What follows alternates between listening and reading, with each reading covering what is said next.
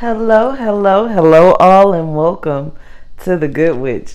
If you are new, welcome, welcome. If you are returning, welcome back.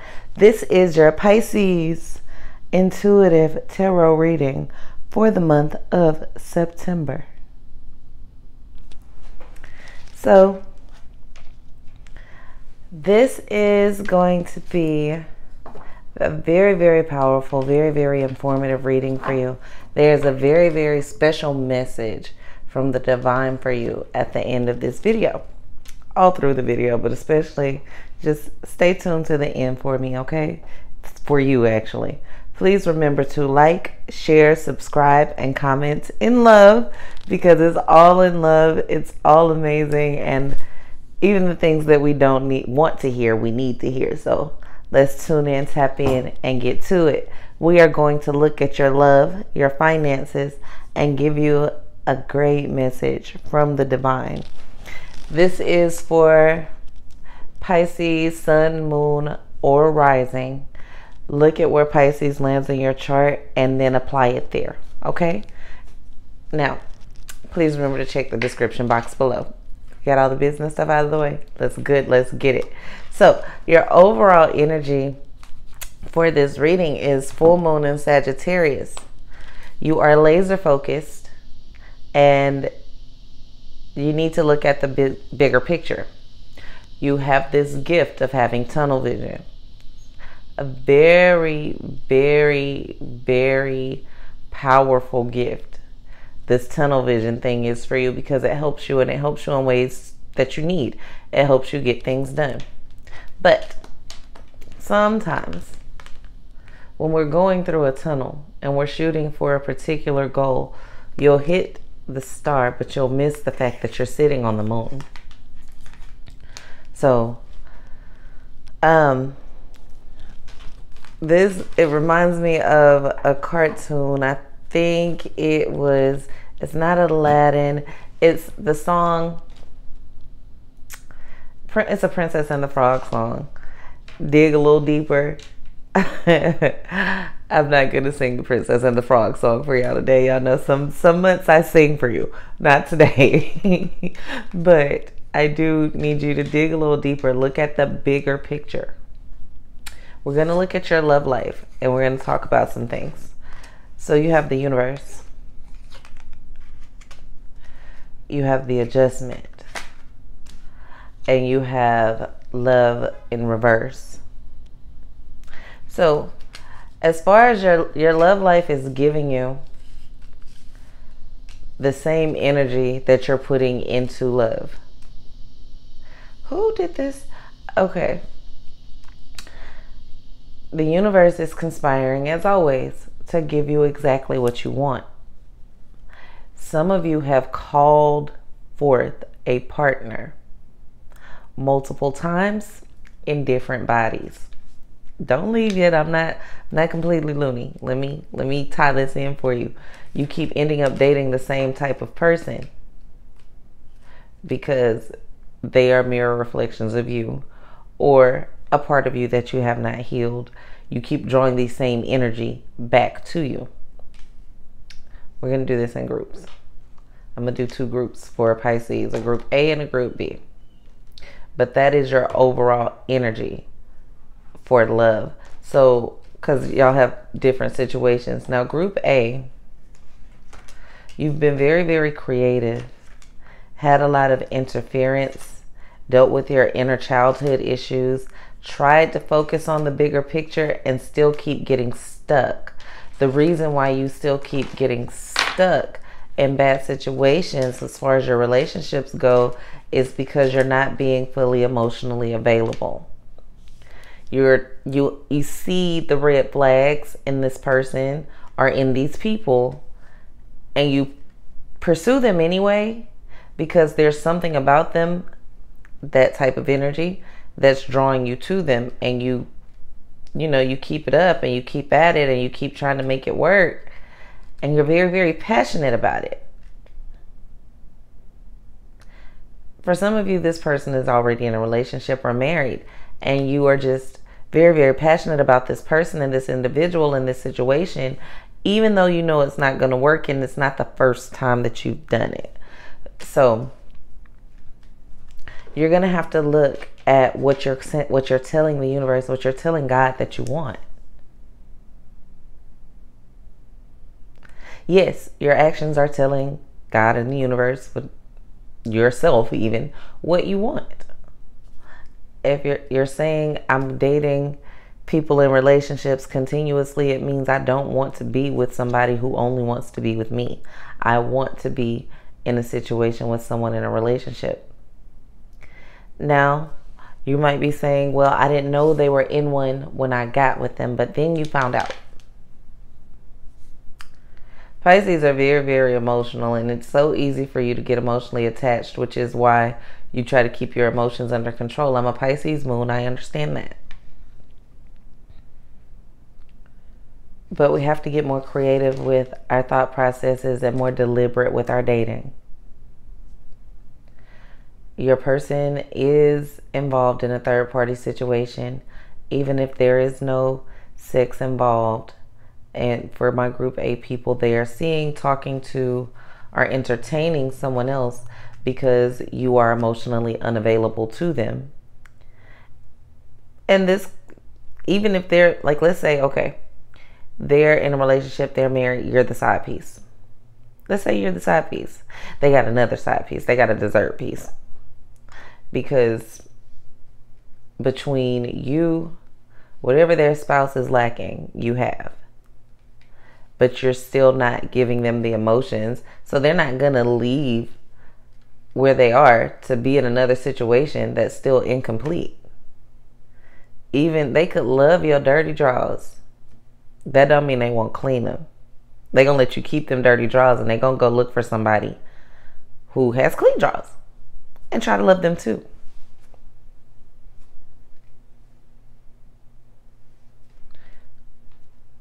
So I'm going to tell you what to do, and I rarely do that. It is time that you start a clean slate, either with this person or a new person, because this person, even though they want to be with you, they really don't see a future with you anymore because of the emotional unavailability. At one point, they were thinking about ending all interference, all third party situations, everything to be exclusively with you. And now they can't because they realize that they would be cheating on you just like they're cheating on the person that they were with when you met them or that they are currently seeing. So it's kind of like you lo- you'll you'll lose them the way you got them. Now, if that's not for you and that doesn't feel familiar, we're going look at Group B. Y'all, please remember to like, share, subscribe, and comment and love. Oh, Lord. Okay, so Group B, you have a person in your life that is not stubborn at all. Very, very, very free spirited, free flowing, the Queen of Disc in reverse.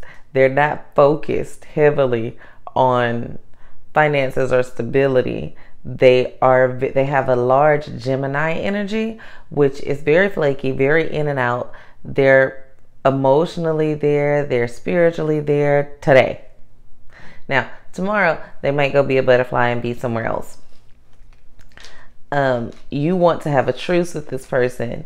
Your situation is different. They don't really want to be with anybody else. They're just they want to enjoy life they want to enjoy it with you. They have a very, very high, like, lust frequency for you. But you guys have your arguments, and it's like one of you is very, very focused on wealth. You both have lust issues, different types of lust. One of you has a financial lust issue, one of you has a physical lust issue. But this situation is very different from group A because group B, you have the Magnus, meaning they are wish granting, wish fulfilling, want to be and do anything that you want to be and do, even if it causes them to lose themselves. You have a butterfly that's willing to clip its wings to be with you. Now, my question to you is if you are pushing this type of behavior on them? Will you enjoy that butterfly when it's a caterpillar? You fell in love with a butterfly and now you don't want it to fly anymore. You want it to be a caterpillar. Then you'll get bored with it, step on it, and walk away. Or you won't. You'll just enjoy being a caterpillar and try to push it back into a cocoon so it can become a butterfly again. But that's not how that works. This person is not indecisive and they have decided that they want to be with you, even if that means they can't be with themselves, which is a very dangerous place to be. Because it gives you the majority of the power in the relationship or in the situation. So we are going to be mindful of our words. We're going to be mindful of our actions because this is a very sensitive, intuitive person. So we're going to be very, very mindful and look at the bigger picture of yes, I need them to focus today, but I'm not going to handle them in such a way that they lose who they are. Because you know at the end of the day that they would do that for you because they've made it very plain if you make them feel like in order to be with you, they have to clip their own wings, they will. And you don't want that burden on your heart because then you'll feel like, oh, well, you're not the person I fell in love with. Well, honey, you wouldn't allow me to be and still be with you. So the universe is giving you what you want. And if you're saying, I have a butterfly, I want a caterpillar, or I need a moth. You'll get that caterpillar or that moth. And that might not be an order you can send back to the kitchen. That might not be something you can reverse.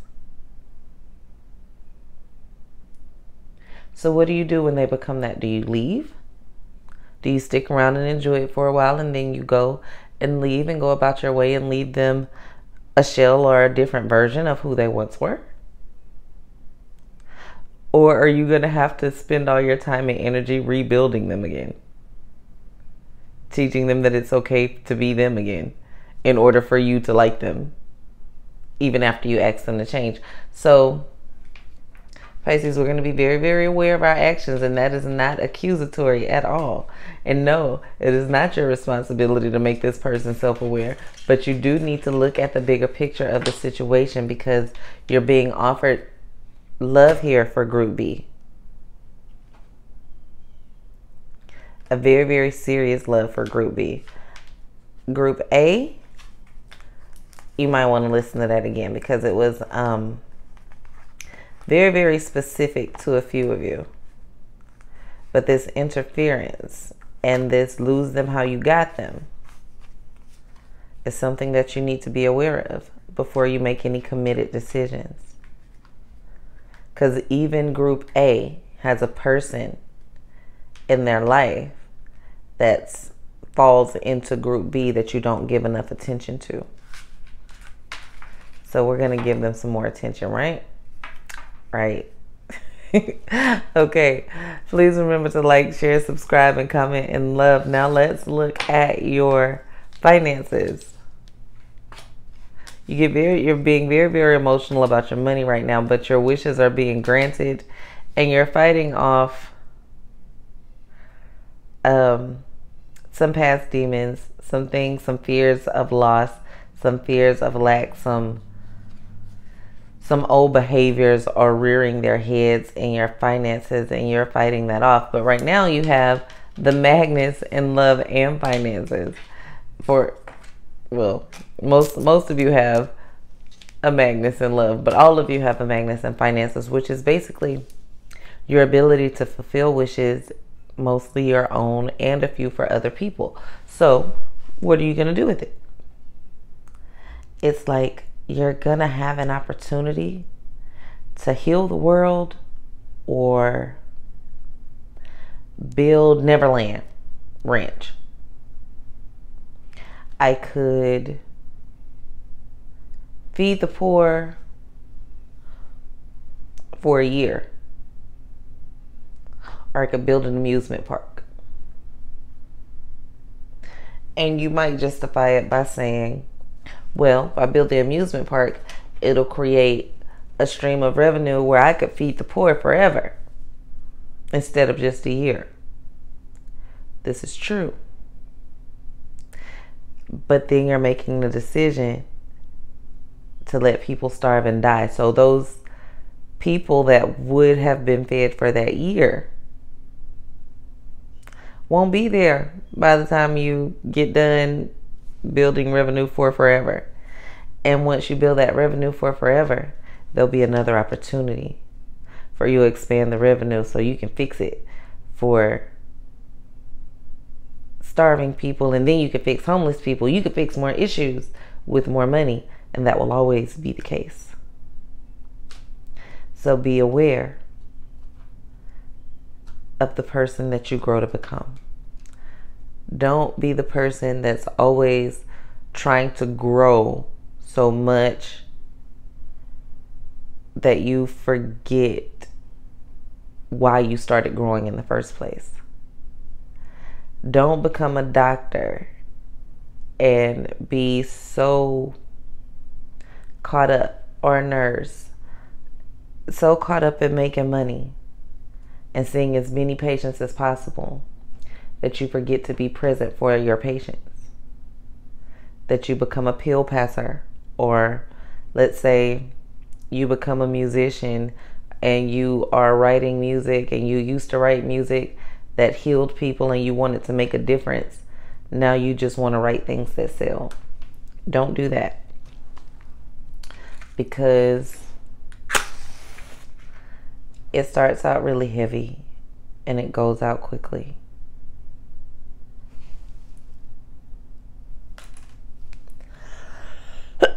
well, excuse me, y'all. I know that was loud. I got a mic now and that was loud, and I apologize. Um, so you're going to make sure you're not just you're looking at the bigger picture, but you're not ignoring the bigger picture. So when you look at this card, for look at the bigger picture, you see the arrow, you see it on the moon, right? So the bigger picture would be the universe. You see all the stars and everything. The moon is a part of galaxies, which is a part of galaxies, which is a part of dimensions, which is a part of the universe, right? And you're the arrow, right? So you're going to save the uni don't save the universe while the moon disintegrates. But don't be so focused on what the arrow is pointed at, which is a star, that you forget to see the moon. Okay? I know that's a little heavy, but it's also very, very necessary. So I need you all to be mindful of the picture that you're looking at and make sure you're creating the things that you want to create.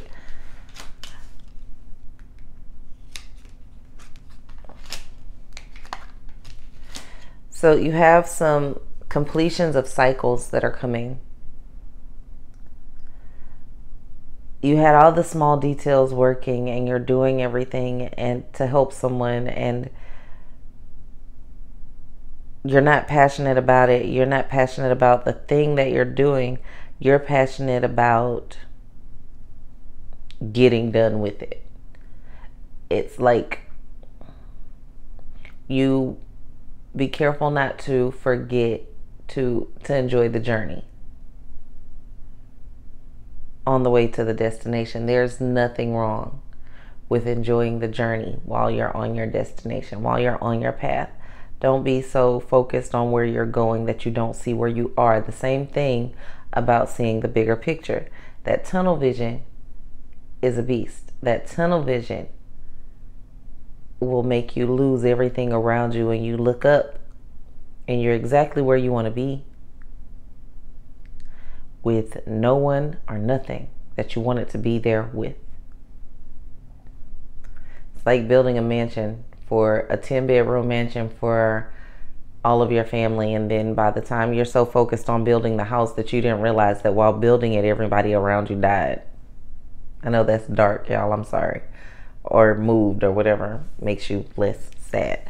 So pay attention to the people in the village while you're building the houses. I can't keep coming up with analogies. I could but we're not. But while you're rebuilding the village don't forget about the people that live there because they're living there while you're rebuilding it. Got it good Please remember to like, share, subscribe, and comment in love. Um, be aware that you can't have passion and love. They should coincide.